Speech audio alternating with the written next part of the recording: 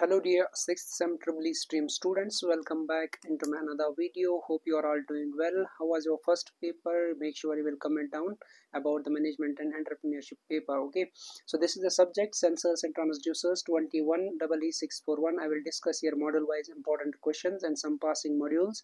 But let me tell you this is the diagrammatic subject and lot of theory is there. So first of all focus on explaining the working principles uh, limitations advantages of the transducers and practice uh, drawing and uh, diagrams. As you already know visual aids in any engineering examinations are somehow crucial. So let's start here first uh, from the passing module.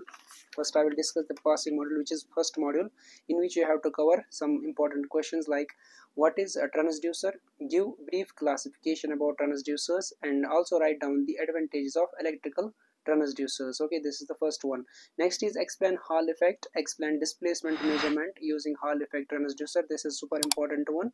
And what is piezoelectric effect? Explain working of a piezoelectric device.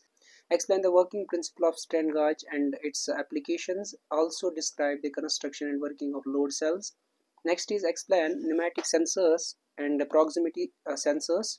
Digital transducer and light sensors right next is uh, what factors should be considered when selecting sensors for a particular application differentiate between RVDT and LVDT. This is all about model second. As I earlier mentioned in the beginning of the video that uh, this is the diagrammatic subject. So focus should be on working principles, advantages and disadvantages. Okay, so this is all about model second. Now let me discuss here another passing model that is model 4 in which you have to cover with the help of a block diagram explain the working of a telemetering system uh, define modem explain modem interfacing block diagram with a circuit diagram explain Pirani vacuum gauge and explain the construction and working operation of voltage telemetering system current telemetry system and position telemetering system and with supporting diagrams. With a neat diagram explain the operation of a Pirani gauge. Define the following atmospheric pressure gauge pressure absolute pressure and static pressure total pressure with the help of schematic diagram. So this is all about module fourth. Now let us discuss module fifth. What is Seebeck effect? Explain with the neat diagram the construction and working of a thermoelectric pyrometer and what is a dynam dynamometer? Explain construction and working of DC dynamometer. Discuss the working of LVDT linear variable differential transformer in uh, displacement measurement. Okay uh, explain the construction and working of electromagnetic flow meter, state the applications of electromagnetic flow meter, and discuss the working principle of a hot wire anemometer and how does it measure fluid velocity. Explain the working of a viscometer and uh, accelerometer, and explain how strain gauges are used for force measurement. This is all about module 5th. Now let's come to the module 3rd, which we are pending with.